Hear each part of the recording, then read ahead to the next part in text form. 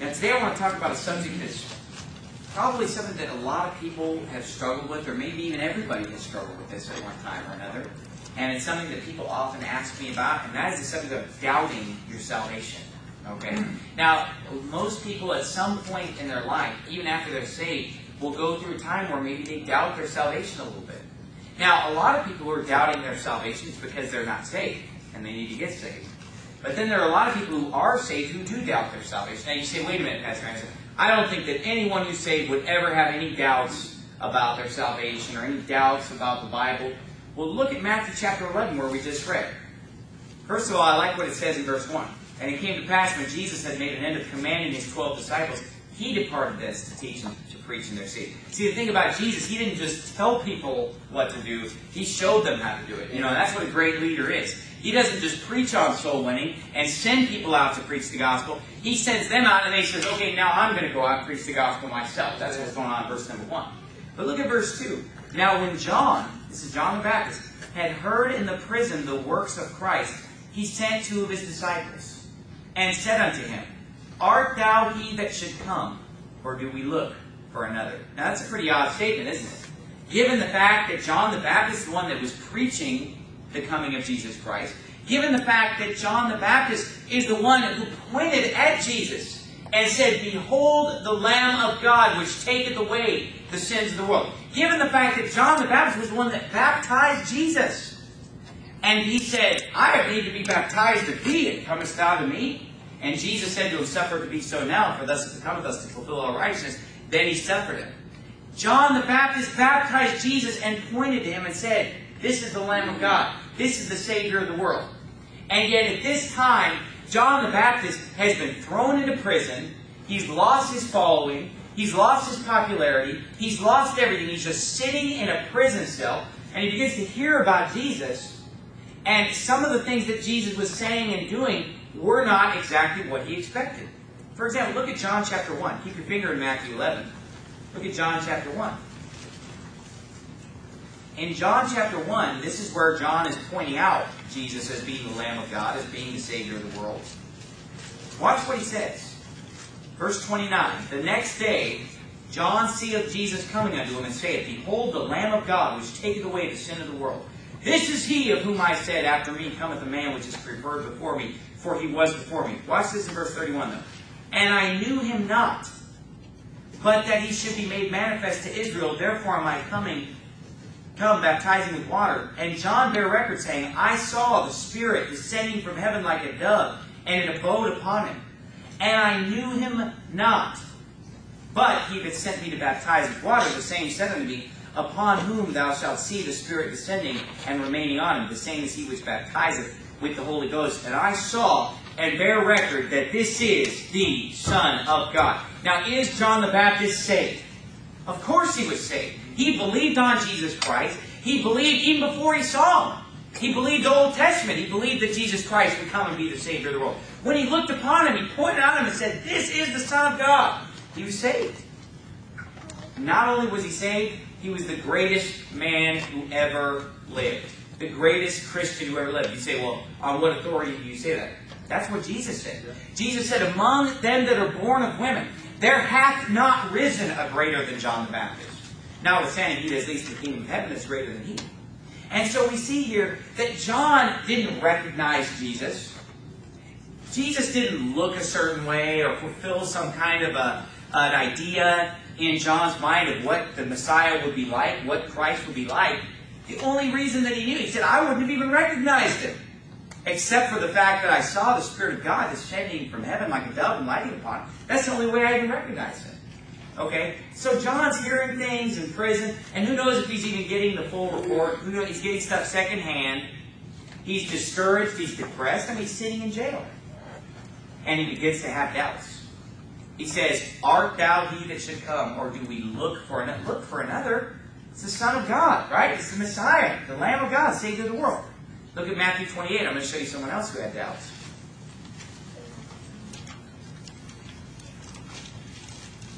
So don't tell me that no Christian has ever doubted salvation. Don't tell me no Christian has ever doubted their own personal salvation, because here we see even John the Baptist had doubts about Christ at one time. Okay?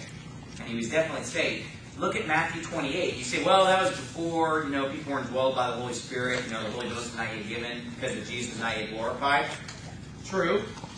But here's Matthew 28. Jesus has already breathed on the disciples and said, receive ye the Holy Ghost.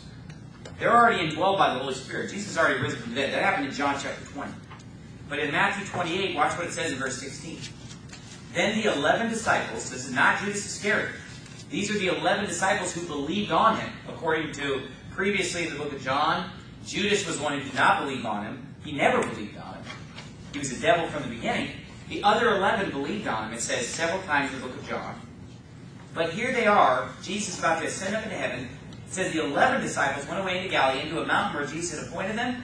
And when they saw him, they worshipped him, but some doubted. Now look, these guys are saved.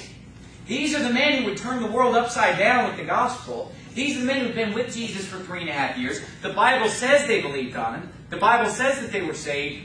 And yet here, they doubted. They had some doubts.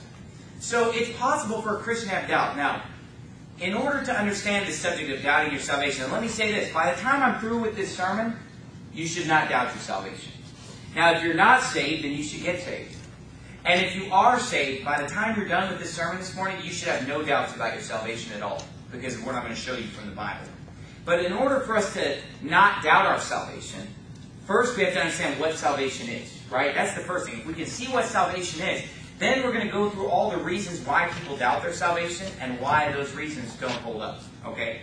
Number one, you got to understand, salvation is by faith alone, first of all. I mean, that's the basic.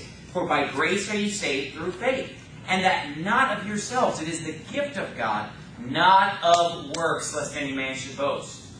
Okay, that's the first thing you got to see, and we'll get into more of that in the sermon. Number two, you have to understand that salvation is not a process. Salvation is being born again. Okay? Now, think about this. I was born on July 24th, 1981 at 4.11 p.m. Now, everyone has a birthday like that, right? But if you stop and think about it, no one says this. Well, you know, I was born, it was a process where I was born from July 20th through July 31st. No. Now, maybe your mother was in labor for a long time, but being born is instantaneous, right? Being born happens in a moment. I mean, I can tell you the exact time. July 24th, 1981, 4.11 p.m. in the afternoon. Now, let's say I didn't know that time. I didn't know that date. Does that mean that I wasn't really born? No. There are people in this world who do not know their birthday. Literally. It sounds silly, but it's true. They don't know. There are people in this world who do not know how old they are. But does that mean, are you testifying? What? That doesn't mean that they're not living. It doesn't mean that, they're, that they haven't been born. There are people who don't know who their parents are, okay? But they still have parents, okay? Do you understand what I'm saying? So the bottom line is, number one, salvation by faith alone. Alone. Alone. Number two, it's not a process. It happens in a moment. Okay? You're born again, the Bible calls it. And God says this. He says, Verily, verily, I say unto you. This is John 5.24, one of my favorite verses. He that heareth my word, and believeth on him that sent me, there's your faith, hath everlasting life. Present tense, has everlasting life. And shall not come into condemnation, but is passed from death unto life. It's done. Saved has a D on the end because it's past tense. It's done. Salvation is not a process. Now, many people think that salvation is a process. You say, why would people think that? Well, one reason why is because they're reading all these phony new Bibles, these modern versions of the Bible that change what the Bible says. Like, for example, this is the New King James Version. Now, if you have a King James Bible, hey, you're saved, right? You believed. It's all past tense. It's all done and uh, believe on the Lord Jesus Christ, and thou shalt be saved. You're passed from death unto life. But turn to 1 Corinthians 1.18. A lot of people today think salvation is a process. Like you'll knock on their door and ask them, hey, do you know for sure if you die today you go to heaven? And here's what they say. Well, I hope so. I'm trying. Now, first of all, they're not realizing it's by faith alone because they're trying to work it. They're trying to earn it. But number two, they think it's a process. They think it's something that they're working on over time. Being born is not a process, and being born again is not a process. It's in an instant. You're passed from death to life. You're saved eternally. But listen to this. This is from the New King James Version. And you say, Pastor Anderson, why do you get so upset about these false Bible versions, these new versions? Because they change doctrine. You say, oh, no, they don't change any doctrine. Tell me if this changes doctrine. 1 Corinthians 1.18. You're looking down at the real Bible. I've got the New King James. For the message of the cross is foolishness to those who are perishing, but to us who are being saved, it is the power of God. Now, do you see a difference there? The King James Bible says, us who are saved. This says, those of us who are being saved. Like it's a process, okay? And then, that's just one example, but that's part of where people are getting this from. They got the wrong Bible. They got these new phony Bibles. Somebody asked me the other day, they said, well, how can the King James Bible be accurate when the Dead Sea Scrolls have not even been yet discovered? So you're telling me that the real Bible was under a rock for 2,000 years and somebody finally dug it up? That doesn't make any sense. So for all these hundreds and hundreds and hundreds of years, we've all been wrong, but then thanks be to God for some archaeologist, some pencil neck guy with a hard hat with a little light on it, you know, digging a hole somewhere, he found the real Bible. No, my friend, the Bible's been preserved from generation to generation. Jesus said, Heaven and earth shall pass away, but my words shall not pass away. They've been preserved to every generation. And then the third thing we need to see in order to understand what salvation is, is that it's eternal. You can't lose it. It's everlasting life. He said, I'll never leave you nor forsake you. So if we understand these three things, it's going to be easy for us to understand. Would you mind just scooting over a couple here? So we got to squeeze in a few people. Everybody who's on an aisle, try to move to the outside a little bit. There we go. So if we first understand these three things of what salvation is, then that's going to help us deal with the subject of doubting our salvation. Okay? So number one, is by faith alone. Number two, it's not a process. I was born in a moment. You're born again in a moment. You're saved. It's done. And number three, it's eternal life. You can't lose your salvation.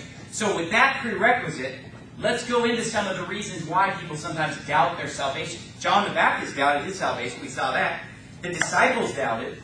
So no one is above having doubts. But after this sermon, you shouldn't have any doubts. Okay? Look at Acts chapter 8. Okay? Acts chapter number 8. Matthew, Mark, Luke, John, Acts. And we're going to look at the first reason why sometimes people doubt their salvation.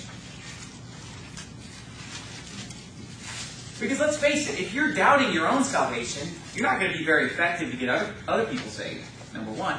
And number two, you're going to be tormented by, by fears or anxieties. What if I'm not really saved? And, and you say, Pastor Anderson, I haven't felt that way. Look, if you go to Faithful Word Baptist Church, you probably have a pretty clear grasp of what salvation is because we preach on it clearly and doctrinally. But I'm going to tell you something. Growing up in a lot of Baptist churches, you could doubt your salvation because sometimes the, it gets a little cloudy what salvation is. A lot of people aren't making it very clear. And for example, a lot of people say, well, if you want to know if you're saved, look at your lifestyle. That's going to tell you if you're saved. That is so wrong. Salvation is not by works. It's not by living a good life. And so why, if it's all by faith, why would your lifestyle tell you whether you're saved or not? There are some people in the Bible who lived a terrible lifestyle and yet were saved. Look at Samson. Look at King Saul. You know, just to name a few. Look at the mistakes that Abraham made, that Moses made, uh, that David made. So we can't go by our lifestyle. But when you grow up in church and you hear these things, and, and, a lot of times preachers will make false statements like, well, if you're still doing the same sins you did before you were saved, you're not really saved. Okay, well, I guess none of us is saved then, because we're all we've all sinned. There's none righteous, no, not one. And so you can be confused if you've been listening to this kind of preaching, but the Bible's going to make it clear. Okay, salvation is by faith. So number one, here's the first reason why I think people doubt their salvation sometimes. This question. How, how much do you have to believe? Did I believe enough? Right? Who's ever heard somebody say something like that or you thought about that? You know? Because the Bible says, believe on the Lord Jesus Christ and thou shalt be saved. But then the question is, oh, did I believe enough? Okay, so how much do you have to believe? Well, look at Acts chapter 8 and verse 36. This is Philip preaching to the Ethiopian eunuch on his way back to Ethiopia. It says, And as they went on their way, they came unto a certain water. And the eunuch said, See, here's water. What doth hinder me to be baptized? So this guy just finished hearing about the gospel of Jesus Christ from Philip. Philip opened his Bible. He started the book of Isaiah, showed him a bunch of other scriptures, preached unto him Christ. He sees some water and he says, Hey, I want to be baptized right now. So Philip, Philip has preached to this guy, but this guy's just jumping right into, Oh, I want to get baptized. He says, Wait a minute. You, know, you got to be saved before you're baptized. He wants to make sure that he's saved. So he says this. And Philip said, If thou believest with all thine heart, thou mayest. And he answered and said, I believe that Jesus Christ is the Son of God. And he commanded, now, was that answer good enough for Philip? Absolutely, because he commanded the chariot to stand still. They went down both into the water, both Philip and the eunuch, and he baptized him. Now you say, well, Pastor Asher, what does that mean, believe with all thine heart? Because it says, if thou believest with all thine heart, thou mayest. Now look at Luke 17. Just go back a few books. Before Acts is John, before John is Luke. Look at Luke 17. Because what did, what did Philip say? If thou believest with all thine heart, thou mayest. And he answered and said, I believe that Jesus Christ is the Son of God. Here's what I want you to understand about that. Look at Luke 17, verse 5. The Bible reads, And the apostle said unto the Lord, Increase our faith. So again, we're talking about a quantity of faith here, right? We're talking about an amount of faith. And the Lord said, If ye have faith as a grain of mustard seed, ye might say unto this sycamore tree, Be thou plucked up by the root, and be thou planted in the sea, and it should obey you. Now, does anyone have that amount of faith? To just say to this mountain, you know, be removed to the sea, or, or to say to this tree, you know, be, you know, and nobody, he, he's basically saying, look, you have, you have so little faith, is what he's trying to explain to them. It doesn't even amount to a grain of a mustard seed. Okay. Various times throughout the Bible, Jesus is saying to disciples, Oh, ye of little faith. Now look, God does not expect us to have a lot of faith in order to be saved. The question is, and turn to Romans chapter 12 while I'm explaining this, but right after Acts is Romans. Romans chapter 12. It's not that God requires a certain amount of faith or some great faith, and we have to really believe a lot to be saved. The question is, where have we placed our faith? Not how much. How much is the wrong question. They asked the wrong question when they said increase our faith. He said, look, if you had faith even of the grain of a mustard seed, this is what you'd be able to do. Nothing would be impossible. So it's not the quantity of faith. Look at Romans 12, 3. For I say, through the grace given unto me, to every man that is among you, not to think of himself more highly than he ought to think, but to think soberly. Watch this last phrase. According as God hath dealt to every man the measure of faith. So, God has given every man a certain amount of faith, the measure of faith. Is it much? It's not much, right? But He's given us all faith. Everyone has faith. We say, what about atheists? They have faith. What about the evolutionists? They have faith. What about the Hindu? What about the Muslim? They have faith. Because they all believe something. The atheist believes that there is no God. The atheist believes that this world came from nothing, that it evolved, that there was a big bang, that, you know, apes turned into human beings. The Muslim believes that, you know, there's a God, one God named Allah and Muhammad is his prophet. The Hindu believes that he's going to be reincarnated forever and ever and ever. He might even turn out being an animal. And if he's really lucky, he'd be a cow. You know, that's like the best thing you can be as a, as a Hindu, you know. Or the Buddhist believes he's going to keep being reincarnated until he, you know, reaches the state of nirvana. Everyone in this world believes something. You say, what about the agnostic? The agnostic believes that it's impossible to know whether there's a God or not, but he still believes that. Everyone has faith. Everyone has belief. And the question is not how much faith do you have. It's where have you placed your faith. Like, for example, okay, let's say this is my faith. Yeah, that's not very big. This represents the faith of Steven Anderson. Now, am I going to place that faith over here on evolution? You know, am I going to place it right here on Jesus Christ? Am I going to place it over here on Buddhism? These are some options that I have, and there are many more than that. Now, in order to be saved, I have to believe with all my heart. So all my faith has to go right here. Now, it doesn't matter whether this is my faith or this is my faith. Now, I'm going to eat these in a minute just to demonstrate. it doesn't matter whether my faith is this big or this big or this big. That's not the point. The point is, is my faith here? Is my faith here? Or is it here? Now, here's the thing, though. Let's, let's say that this represents my faith right now, because Twix sounds a little better than it let's say this is my faith right here. Here's what a lot of people are doing. This is why Philip said, If thou believest with all thine heart, thou mayest. They say this, you know. I believe in Jesus, right? Okay? Yeah. Let's say this represents my good works. This is the fact that I'm living a good life. I'm keeping the commandments. Okay? I'm gonna put this is getting kind of messy, but I'm gonna put some of my faith over here. Okay? And then here's the fact that I've been baptized. Hey, that might help, right? Might help get me in. Okay? Now, is this person saved? According to the Bible, no. Because the Bible says, for example, in Galatians, that those who were in Galatia who thought they had to believe and be circumcised, he said, You're not saved. In chapter 5. He said, No. He said, Christ shall profit you nothing. You can't trust circumcision. You can't trust baptism. You can't trust your own good works. It's not of works. You have to take all of your faith and say, you know what? I'm only going to heaven for one reason, and that's because Jesus Christ died on the cross for my sins, and that's the only reason I'm going to heaven. That's where you believe with all your heart. Now, you may be a person of weaker faith than someone else. Some people may have more faith than others, but you know what? It doesn't matter. It's where your faith is. Now, look, somebody who has a minuscule faith may have some doubts at times, but does that mean that they're not saved? Look, if, if this is all they're trusting in, how much or how little they're trusting in it is not determining whether it's. Sorry, I gotta leave this off my pants. I'm gonna make a mess of my suit the whole time. So, just think, think about that for a second while I do this. Digest that first point for a minute. Everybody got it? All right. Just making sure. I, you know, I don't want to move too fast. I want to make sure that sinks in. Okay. But number two, so the, first reason why people doubt their salvation is like, well, how much do I? You know, when he said believe with all your heart, it's not like I do believe, I do. You know, like like uh, the Wizard of Oz. You know, like click your heels. There's no place like home. There's no place like home. You know, I do believe. I do believe. That's nonsense. God is never the God of the gray area. It's black or white. Are you trusting Christ or are you trusting something else? That is what salvation is. Do you believe on Christ or not? Not how hard do you believe on him or how much do you believe on him. But I'm telling you, I asked for raise a hand, but a lot of people raise their hands and say, yeah. You know, a lot of people have doubted because, or they've known someone who doubted because they said, well, how much do you have to believe? But number two, look at 1 John chapter 5. Another reason why people doubt their salvation sometimes is because of this question.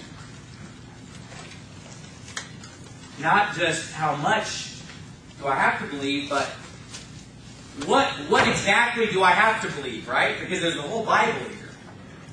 Okay? What exactly do I have to believe to be saved? Okay?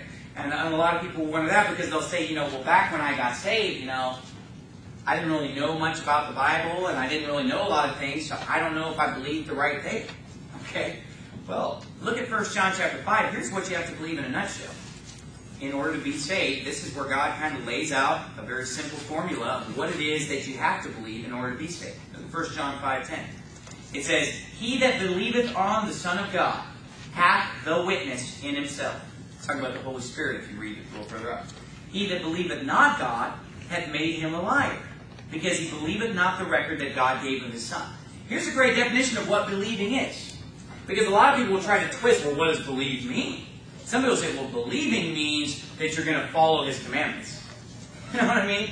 And they'll try to say, well, believing is works. Then why did he say it's faith, not of works, if believing has to do with works? Oh, the two are inseparable. Well, God separated them when he said it's faith, not works. That's a separation. But we see here, he said that uh, the opposite of believing is calling someone a liar. For example, I say to you, I have a red car. Do you believe me? Now, let's say he said no. What's he saying? That I'm lying. And if you say, well, the Bible's not true, you're saying that God's lying. So what does it mean to believe?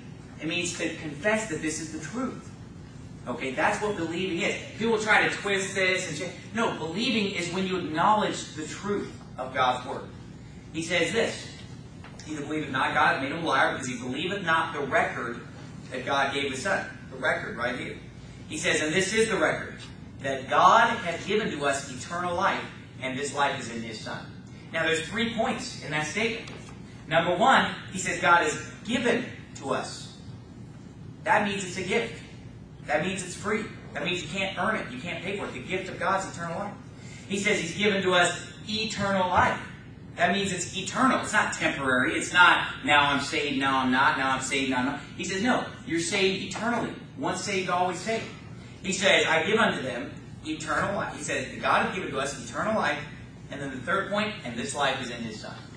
Now, if that's what you believe, you're saved, according to the Bible. If you believe that salvation is only through Jesus Christ, that it's a free gift, you can't work for it, you can't earn it, and that it's going to last forever, that's what you have to believe in order to be saved, according to this.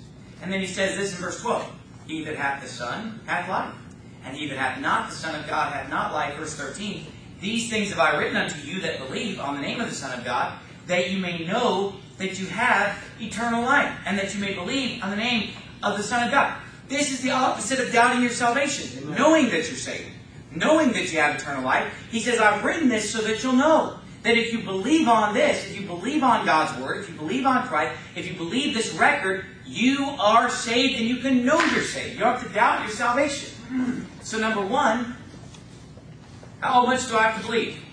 You know what? Irrelevant. You just have to put all the faith on Jesus, however much it is. You can't be trusting anything else. You can't say, well, I'm a Christian and I'm also you know, Buddhist as well. I'm taking elements of both. No. You must believe with all your heart. Number two, what do you have to believe?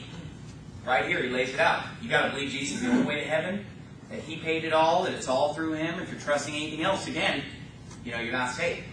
Now, you say, wait a minute, what if somebody doesn't believe something else in the Bible? You know, because the Bible's a big book, right? It talks about a lot of things. Well, wait a minute. Jesus said this. He said, My sheep hear my voice. He said, He that is of God heareth God's word. Ye therefore hear them not, because you're not of God. He talks about people taking away from and adding to God's word, and, and uh, hearing God's word and not believing it, making God a liar. Because if you were to deny another part of the Bible, you're still making God a liar, because God spake all these words. So here's the thing. Do you have to know everything in the whole Bible to be saved? No, you just have to know the part about Jesus Christ being the Savior. But see, the, one of the tests of a person that is saved, they have the witness in themselves. Therefore, they're not making God a liar, according to verse 10 of what we read. So, for example, if I go to him, and let's say he just got saved. He's a new believer, he doesn't really understand a lot, right? And he's not he's not even sure about certain things about, you know, how creation took place or something like that. He's not sure if there's anything to evolution, you know, but he believes on Jesus Christ. He believes on the Bible. Well, if I go to Brother Dave and I show him and say, look, look, Dave, here's Genesis chapter 1. God created heaven and the earth, and then look, everything brings forth after its own kind. He said that about six times. Look at this. Six literal days. Evening, morning, right? Day, night, okay? Pretty clear, isn't it? Okay? Now, if he walks away and say, well, I don't believe that. Okay. Then basically, he's showing me that he's not saved. Okay? Because if he's calling God a liar about that, he's calling God. Now, he may not have known that before I showed it to him. But once I showed it to him, he's going to receive it, okay, that's just kind of an evidence of his salvation, the fact that he believes God's word, the fact that, he, that he's a believer, okay? But it starts with just believing on Christ. So look, you, you say, well, I don't know, I, I didn't understand everything back then. Well, I don't understand everything right now. But when I got saved, I understood that Jesus was the Savior, that He was the only way to heaven. And once people believe that, the Holy Spirit indwells them, and they'll hear God's word. They'll hear the voice, and when you show them something, they can see it and believe it. Okay, that's an evidence of salvation. Number three, look at Romans chapter 10. Here's another thing that people struggle with when it comes to having doubts about their salvation. Number one, did I believe enough? Number two, well, what exactly do you have to believe to be saved? But number three, here's, here's one that's kind of silly, but a lot of people struggle with this, and so I'm going to bring it up. Did I pray right? You know, because a lot of people put a really big emphasis on the praying, like and asking Jesus to save them. Okay? And a lot of people have this doubt. Did I say the right thing when I prayed? When I asked to be saved, did I pray right? Now, who's ever heard that or thought that or known someone who thought that? Yeah, sure. Very common. I say it's silly just because, you know, when you when you're on the side of it where you know the Bible, it seems like, you know, there was a time when I wondered this you know, growing up, just because of the different emphasis that was placed in different churches that I went to. And, and here's where some of this comes from. Look, look at Romans chapter 10, verse 9. The Bible says that if thou shalt confess with thy mouth the Lord Jesus, and shalt believe in thine heart that God has raised him from the dead, thou shalt be saved. For with the heart man believeth unto righteousness, and with the mouth confession is made unto salvation. And then look at verse number uh, 13. For whosoever shall call upon the name of the Lord shall be saved.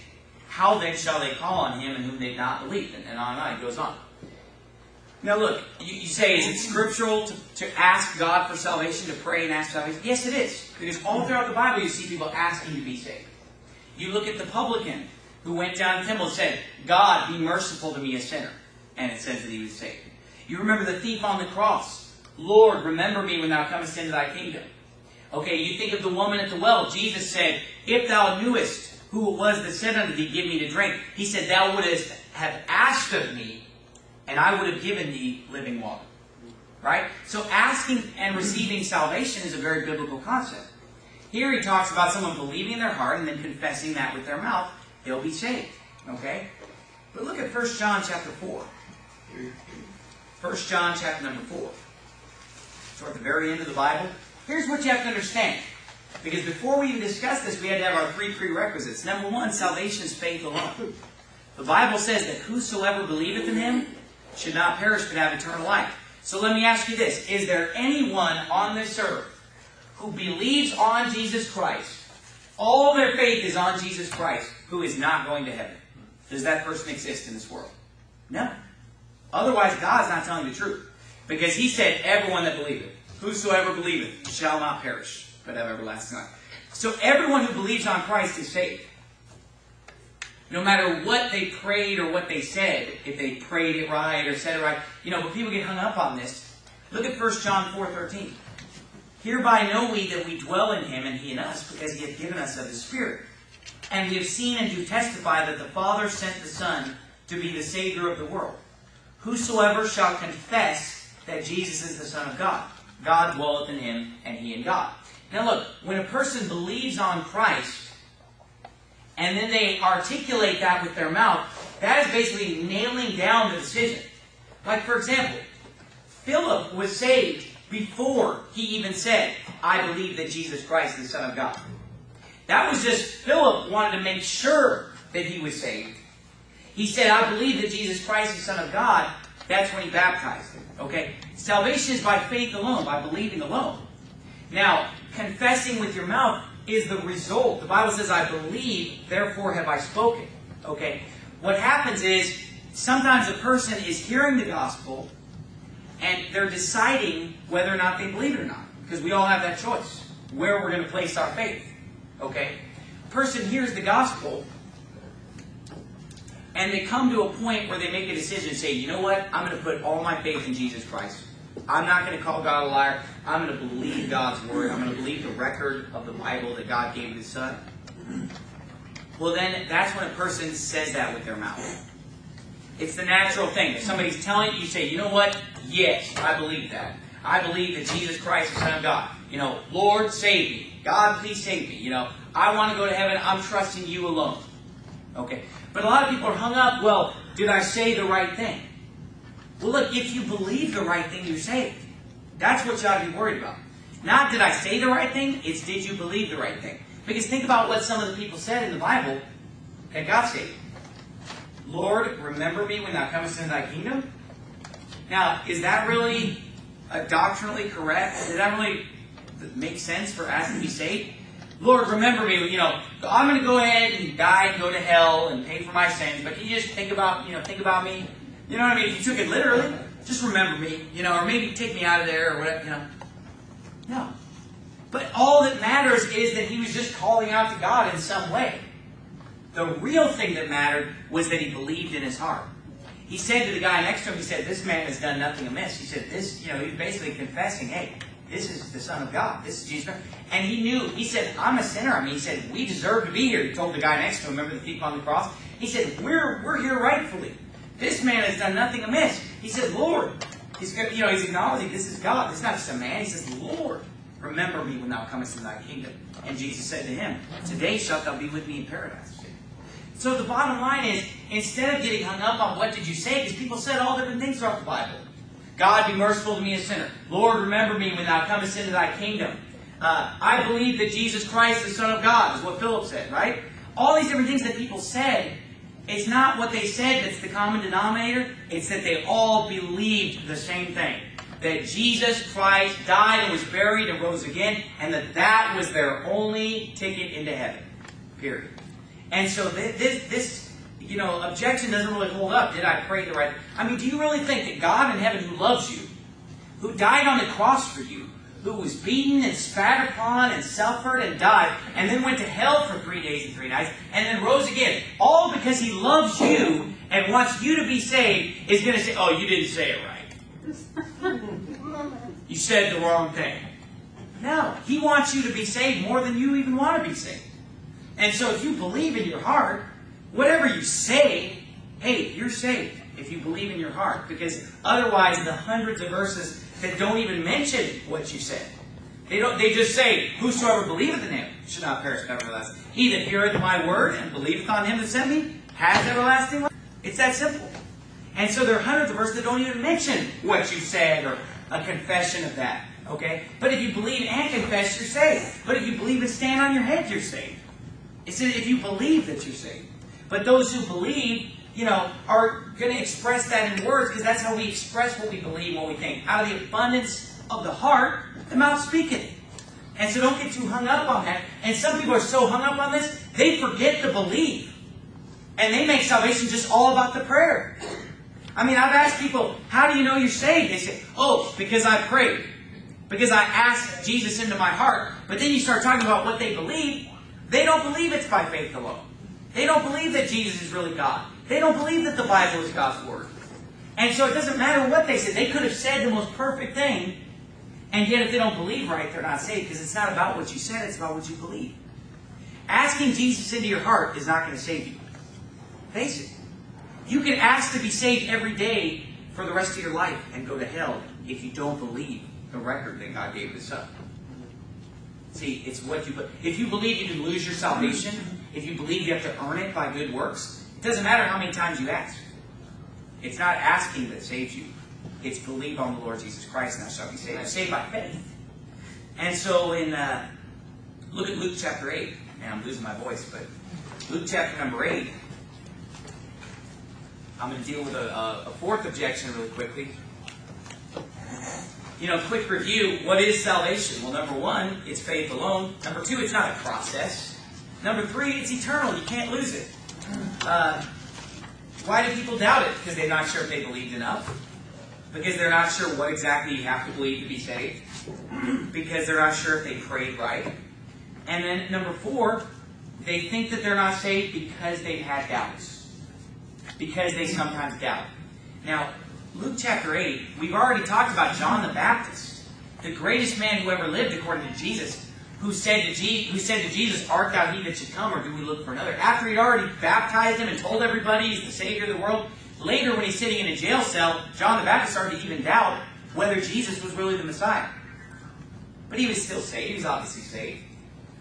The disciples who we know were saved according to the Bible, the eleven, some doubted, as Jesus ascended up in heaven. But look at Luke 8, 12. Luke chapter 8, verse 12. It says, Those that hear by the wayside are they that hear. Then cometh the devil, and taketh away the word out of their hearts, lest they should believe and be saved. Because if you believe, you're saved, right? So it was taken away lest they should believe and be saved. They on the rock are they which, when they hear, receive the word with joy. So these people believe, and it says this, and these have no root, which for a while believe. Okay, and in time of temptation fall away. So these are people who believe on Christ. And they receive the word with joy. They're excited about it. But they come to church as soon as any tribulation or trouble or testing or trials come. They are not rooted and grounded enough. And some people, you know, they don't read the Bible. They don't know what they believe very strongly. They haven't really been grounded in what they believe. And because they're not rooted, they might fall away. We may not see them anymore. They may quit the church or, you know, and, and they may even stop believing for a while and doubt the truth of the Bible. But does that mean that they're not saved? No. Because it's possible, according to Luke 8, according to Matthew 11, according to Matthew 28, to believe on Christ, then later on to have doubts about that. But that doesn't mean that you're not saved. Look at first, uh, look at 2 Timothy chapter 2.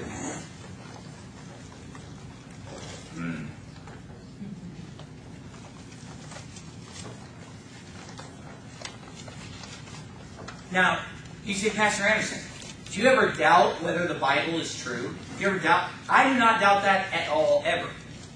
But wait a minute. You know, when I was younger, when I hadn't read as much Bible, when I hadn't been in church as much, when I had not been walking with the Lord, then doubts can enter your mind. Okay? Now, the more rooted you are, the more grounded you are in what you believe, you're not going to doubt the Bible. But if somebody's never going to church, never reading the Bible, and they're constantly just hearing all the world's lies over and over and over again, it could cause them to have doubts about the Bible. Now, part of the reason why I never doubt my salvation at this point in my life is because the Bible says in Romans 8:16, the Spirit itself beareth witness with our spirit that we are the children of God. So I'm saved. If I'm walking in the Spirit, hey, God's Spirit is constantly saying to me, You're saved. You're a child of God. God's Spirit is bearing witness with my spirit that I'm a child of God. So if you're saved, that Holy Spirit's living inside you. But if you quench the Spirit, if you're walking in the flesh, if you're not spending time with God, you're not hearing the Spirit's voice telling you, you're God's son, you're saved. That's why it's possible to doubt when you're backslidden. You see what I'm saying? John the Baptist got a little backslidden. He started having some doubts. Not that he wasn't a great man, but if you're walking in the Spirit, if you're reading God's Word, you're not going to have those kind of doubts. It's when you get away from God, get away from church, get away from God, you can doubt, but does that mean that you weren't saved? No, because the Bible describes a lot of groups of people who did have those doubts, yet they were truly saved. Listen to this, 2 Timothy 2.13. Keep in mind who, who this is talking to. This is the Apostle Paul. You know, John the Baptist was the greatest man that was ever born of woman. This is probably number two in the Bible. He's probably the second best guy in the Bible. He's speaking to Timothy, another preacher who'd been saved for decades. And he's explained him doctrine, and he says in verse 13, If we believe not, he's saying, You and I, Timothy, let's say we were to believe not. It says, Yet he abideth faithful. He cannot deny himself. So God cannot break his word. And so, let's say Steven Anderson were to come to a point where I doubted, you know, the truth of God's word. You know, God forbid, and you know, that that would ever happen. And it's been, you know, I can't even remember how long since I doubted, you know, the truth of God's word. But let's say I did doubt it. Let's say I did fall into sin. You say, oh, that's impossible for you, Pastor Anderson. No, it's not impossible for anybody to get backslidden, to get into sin. We ought to constantly be on our guard against temptation, against the devil trying to attack us. Let's say I were to doubt it. He says, wait a minute. God's still going to keep his promise to you in hope of eternal life, which God that cannot lie promised before the world began. The Bible says, and this is the promise that he had promised us, even eternal life. Jesus said, Verily, verily, I say unto you, he that believeth on me has everlasting life. Jesus said, And I give unto them eternal life, and they shall never perish, neither shall any man pluck them out of my hand. Once you're saved, you're never going to perish. No one's going to pluck you out of God's hand. You're his son. Just as my son will always be my son. It doesn't matter what he says. It doesn't matter what he thinks. It doesn't matter what he does. My son, I'm talking about my physical son now, will always be my son. He could say, Dad, I hate you. You're not my dad anymore. I'm still his dad. He could go out and commit every sin in the book. I'm still his dad. It's an unseparable, unbreakable bond. Now think about marriage. Marriage is a bond that ends. Some people get divorced. And not only that, when, it, when a spouse dies, it's over. That's why it's till death us do part. It's not, it's not eternal. You know, the Mormons are wrong. Jesus said that in heaven they neither marry nor are given in marriage, but are as the angels in heaven. And so we're not going to be, I'm not going to be married to my wife in heaven. I'm married to my wife until one of us dies. Okay? But father and son, that never changes. Even if my son dies, he's still my son. It's never going to be replaced. So father and son is an eternal bond, and that's what salvation is. Jesus said, And whosoever liveth and believeth in me shall never die. Now, even if theoretically we were to doubt and stop believing, would God break his promise of everlasting life? Would he break his promise when he said, okay, you live right now, you believe on me right now, you'll never die. You'll never come to condemnation. You're past from death life. You're my son. I've adopted you as my son. He cannot deny himself. He will abide faithful to his promise. Whether we stay faithful or not, he will be faithful. Okay? So, you know, that's another thing. Well, I've doubted. I've, I've had all these doubts. Am I saved? You know what? It's possible to have doubts. You just need to do more reading. You need to spend more time with God. You need to get closer to God. You need to walk in the Spirit, and those doubts will begin to fade. Okay? The Spirit will bear witness with your spirit, your children of God. So turn to Acts 10. It's the last place we're going to turn. You say, wait a minute, Pastor Anderson, how do I apply this sermon to my life? Well, number one, there could be somebody here who's listening to me preach right now who's not saved. And if you're not saved this morning, it's because you believe the wrong thing. Because if you believe the right thing, you'd be saved.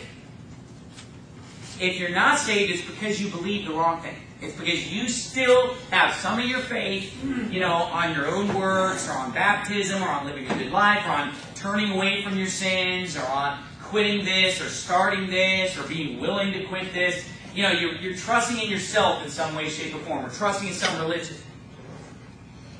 But if you do believe the right thing, if you do believe the record that God gave His Son, if you do believe this moment, hey, I believe that Jesus is God in the flesh, that He died on the cross, that He was buried, that He rose again, that He's the only way to heaven, and that I'm only going to heaven because of His shed blood. Hey, if you believe that this morning, you are saved. Why don't you just realize it, nail it down, and say, you know what? I know that I'm saved. Not because the pastor told me, not because some church told me, not because of a book I read or a track I read, because the Holy Bible says that if I believe, I'm saved. Nail it down, settle it. Don't waste another uh, minute worrying about it. Now, if you're not sure that you believe that, well, wait a minute, you do have something to worry about. You could be making God a liar. And you say, well, wait, I think I was saved like five years ago, but I'm not sure. Hey, don't risk eternity. Don't risk your, your eternity on, on something that happened in the past. Decide right now in your heart. Say, you know what? I, if I didn't believe it then, I believe it now. If I didn't have all my faith in Christ then, I'm putting my faith in Christ now. And you know what? Just tell that to God. Just to nail it down in your own heart. He already knows your heart anyway. But tell that to God. Say, you know what, God? Open your mouth and say to God, God, I am trusting in you, your blood on the cross alone for my salvation. And then you won't have to worry about it because if you don't go to heaven, then the Bible's not even true. But thanks be to God, the Bible is true. And if you believe that, you are going to heaven. And so look at this last passage, Acts chapter 10, verse 43. To him give all the prophets witness. This is talking about Jesus. So all the prophets, I mean, we're talking about from Abel to Zacharias. We're talking about Moses. We're talking about Samuel. We're talking about all the Isaiah, Jeremiah, Ezekiel. To him give all the prophets witness that through his name, through whose name? Jesus' name. Whosoever believeth in him shall receive remission of sins. Your sins are going to be forgiven, right? Your sins are going to be wiped away if you believe on him. That's the whole message of the whole Bible, all the prophets. While Peter yet spake these words, so he's not even done preaching. He's still preaching the sermon. While Peter yet spake these words, the Holy Ghost fell on all them which heard the word. And they of the circumcision which believed were astonished, as many as came with Peter, because that on the Gentiles was poured out the gift of the Holy Ghost. For they heard them speak with tongues and magnify God. Then answered Peter, now you speaking in tongues, is that this, you know, no, of course not. If you read Acts chapter 2, when it talks about speaking with another tongue, it lists 17 foreign languages. Medes, Persians, Elamites. I mean, today it would be English, Spanish, German, Norwegian. You know, we're talking about foreign languages. We're not talking about gibberish. Nobody in the Bible ever talked gibberish. Every language is, and you know, you know these these charismatic churches, the, the tongue talkers rolling in the aisle, slapping people on the forehead, the Benny Hinn. It's all fake. It's all false. But here, he heard, they heard them speak in another language because here's what happened. Peter's preaching to people that were all Italians, if you know the story. They go to this centurion who's an Italian. All of the people in his household are Italians. He is a Jew, and he has these Jews with him that were astonished when they saw this miracle where basically these people heard the preaching in their own language. Italian language, you know, which be back then, it, the Italian language didn't exist. It was, you know, Latin or a vulgar Latin. Okay? He's preaching them God's word. All of a sudden, they hear in their language these people confessing, hey, I believe that. I believe Jesus Christ. Okay? And when they saw it, they were astonished. Said, amazing. Then answered Peter, Can any man forbid water that these should not be baptized, which have received the Holy Ghost as well as we? And he commanded them to be baptized. Now, did he suggest you may want to be baptized? No. Baptism is a command. Right? Baptism is not optional. Now, you, you're still going to go to heaven if you haven't been baptized. But, you know, you're still going to go to heaven if you tell a lie. But is telling the truth optional in God's Word? No. He commands us to tell the truth. Do we have to keep all the commands to be saved? We don't have to keep any commands to be saved. We have to believe. But is baptism optional or is it commanded? It's commanded. You see, I was sprinkled as a baby. You weren't baptized. Jesus was baptized. He went down into the water and he came up out of the water. Ethiopian eunuch was baptized. They both went down in the water. He was went dunked underwater. It represents the death, burial, and resurrection. Okay? You know, this isn't baptism. You know, this is what a lot of churches are doing. Oh, you're baptized. You know, or pouring. You know, we're to do a little pouring. hey, baptism is by immersion. Okay? But notice here, what was the message that Peter preached? That believing on Jesus Christ will save you and wash all your sins away, right? He said, hey, that's what the whole Old Testament has taught. All the prophets. What was the message they preached? Believe. What did the people who listened to him do? Believe. They said, hey, I believe that. They were saved. He said, hey, let's get these people baptized. They're saved. Look, if believing was enough to show that Philip, that the Ethiopian eunuch was saved, wait a minute, why didn't Philip watch him for a while to make sure he was really saved? That's what a lot of churches are doing. To be baptized, you have to go through a six-week class. Where is the six? Boy, that was a that was a really accelerated program for that class here. You know, and all it is, all it is, is they got it from the Catholics, the Catechism class, and then they just adapted it over to a Baptist catechism. It's wrong. Hey, I'm going to tell you something. If you believe, you're ready to get baptized today. If you believe, you're ready to be baptized. Right? I mean, Paul Paul was crazy. He was baptizing people in the middle of the night. He got a guy saved at midnight in Acts 16. The same hour. He's like, man, I'm going to baptize you right now. You know, say, oh man, he's nuts. No, you're nuts if you think a six week class is biblical. You're nuts if you think we have to watch people to see if they're really saved. Oh, let's watch them, see if their lifestyle changes. Your lifestyle doesn't have to change for you to be saved. What you believe has to change for you to be saved. You say, what about repentance? Yeah, you repent and turn from what you used to believe to what you should believe. You don't turn from a life of sin to a life of righteousness because I'm still a sinner. You're still a sinner. If we say that we have no sin, we deceive ourselves and the truth is not in us. And so look, they believed and boom, the next step was, hey, let's get them baptized. Let's not watch them. Let's not test them. No. He said, immediately, you're ready to be baptized. You say, what about children? You know what? I, I got saved when I was six years old. And let me tell you something, I know that I got saved when I was six years old. I don't think I might have got saved. At the time I knew I was saved, thereafter I knew I was saved. I know today that I got saved when I was six years old. But I, and you know what I did when I was six years old? I asked to be baptized. I said, you know what? I want to be baptized. Mom and dad said no. Gotta watch them. and you know, my parents are saved. They believe right on salvation. But this is the, you know, the, where we went to church. I mean, it's, it's like, oh, you know, you're a little young. Let's make sure he understands, you know, this and that. I knew I was saved. I could, I could explain it doctrinally. You know, I was a precocious young child. I could explain it start to finish. I even, one time, I even gave the gospel to somebody else when I was six years old, and, you know, a neighbor boy. Explained it to him, and then my brother, my older brother, came over and helped me, and we both explained it to him, and he ended up getting saved. You know, we both, or it was probably more my brother than me, he understood a lot more than I did, you know. But I was explaining, I was showing the verse, I was trying to explain it to him. I, I had the salvation verses written in my Bible as a little kid, okay? You know, I was ignorant of a lot of things, but I knew I was saved. I knew Jesus was the only way to heaven. I got baptized when I was nine. You know, that was when I finally was allowed to be baptized. But you know what? My, you know, my son Solomon, you know, he believed. He was like, you know, five, six years old. I baptized him because he was able to clearly explain to me and show me that he truly understood what it meant to be saved. And if he could confess that with his mouth, it was good enough for Philip, it was good enough for, for for uh, Peter. I keep saying Paul, but it was Peter uh, preaching in chapter 10. It was Paul in chapter 16. Uh, if it was good enough for Peter, good enough for Paul in, in chapter 16, good enough for Philip, and everybody else whose name starts with a P in the Bible, hey, it's good enough for me.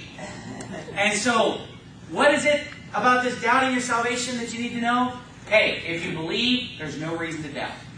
I went through all the reasons. If you believe the right thing, now if you're not sure you believe right, if you're still not sure that Jesus is the only way, if you're still not sure whether there's some works involved in salvation, if you're still not sure, well, maybe you can lose your salvation if you don't. If you do, you know what? Then you're not saved. You ought to be doubting because you believe wrong, and so it's time to just quit calling God a liar. Just say, you know what? Hey, I believed wrong before, but now I believe it. Now I believe what the Bible says, and then you won't have to doubt anymore. That you may know that you have eternal life, the Bible says, and that you may believe on the name of the Son of God. Let's bow our heads and have a word of prayer. Father, I pray that if there's anyone here today that's not saved, I pray that today will be the day that they nail this down and finally just decide, you know what? I'm taking my faith off everything else. I'm putting it all on Jesus. I'm trusting Jesus alone for salvation. And God, if there are those that are already saved, but they've been having doubts, I pray that, that this sermon would have cleared up their doubts and that they would be able to go forward from this point and say, you know what? I know I'm saved on the authority of the Bible. And then maybe there are those who are here today and they know they're saved, but they've not been baptized. Father, help them to take that first step of being willing to be baptized in obedience to you. If they've never been baptized, you know, the way the Bible says, underwater, And God, I pray that today, right away, they would say, you know what? I'm going to do what's right. I'm going to be baptized. I'm going to follow God's command. I want to obey the Lord in baptism. Father, we love you and thank you for your salvation that you've given us through Jesus Christ. And uh, thank you for the Word of God that gives us our assurance of salvation. And in Jesus' name we pray. Amen.